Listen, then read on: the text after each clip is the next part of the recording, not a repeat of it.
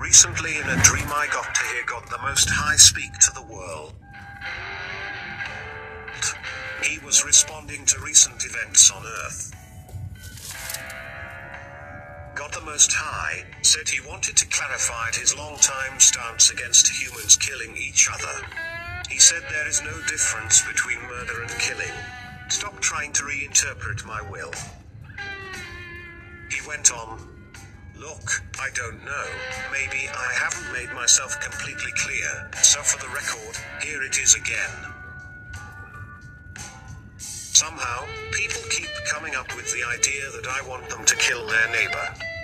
Well, I don't. And to be honest, I'm really getting sick and tired of it.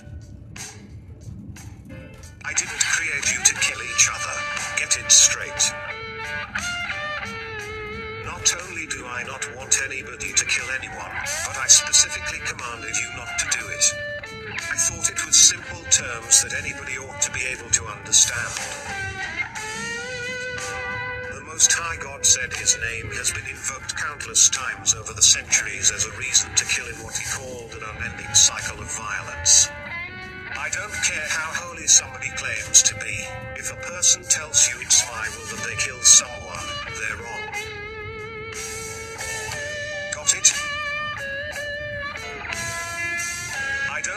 What religion you are, or who you think your enemy is. Here it is one more time.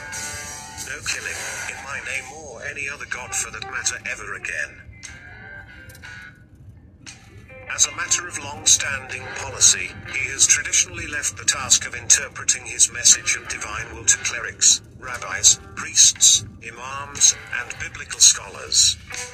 He said they have all got it backwards.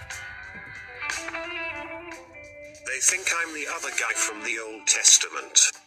I may be in there, but my way has been corrupted and convoluted by a people that think I chose them over my entire creation. They need to take a look again at their own book. I clearly gave the nations as an inheritance to all my sons. At some point in time, I had to take most of it back because of the improper treatment of the people.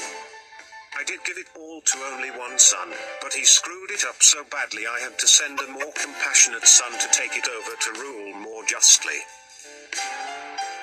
His name is Jesus. You may have heard of him.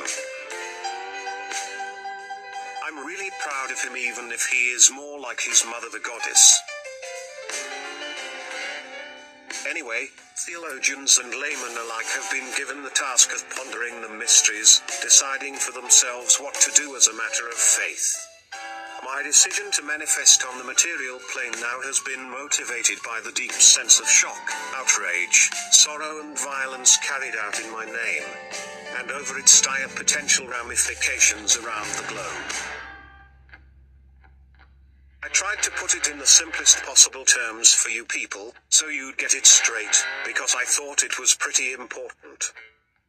I guess I figured I'd left no real room for confusion after putting it in a four word sentence with one syllable words.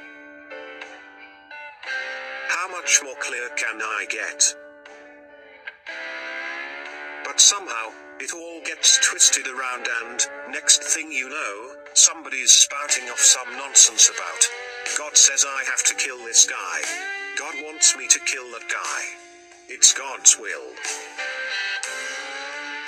It's not God's will, alright? News flash God's will equals don't kill people. Worse yet, many of the worst violators claim that their actions are justified by passages in the Bible, Torah, and Quran. That may be true, but remember that was not me. That happens to be one of my good for nothing, wrathful, jealous sons. I sent Jesus to tell you that you had it all wrong, but somehow no one would listen. I even gave him as a blood sacrifice to that vengeful son. He did lay off of you people some, but you keep giving him power because you still pray to him. To be honest, there's some contradictory stuff in that book, okay? Remember, most of it is inspired by man's concept of me, and most don't even know who the true creator really is. So, I can see how it could be pretty misleading. I did my best to inspire them, but a lot of imperfect human agents have misinterpreted my message over the millennia. They've also been listening to the wrong message. Frankly, much of the material that got in there is dogmatic, doctrinal bullshit, to keep you enslaved and controlled by the one I call the God of this world. He's just an impostor. I turn my head for a second and, suddenly, all this weird stuff gets into the book of Leviticus, and everybody thinks it's me.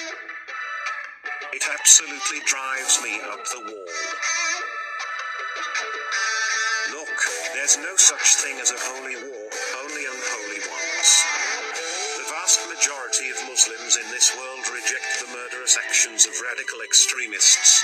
Just like the vast majority of Christians in America are pissed off over those bigots on the 700 Club.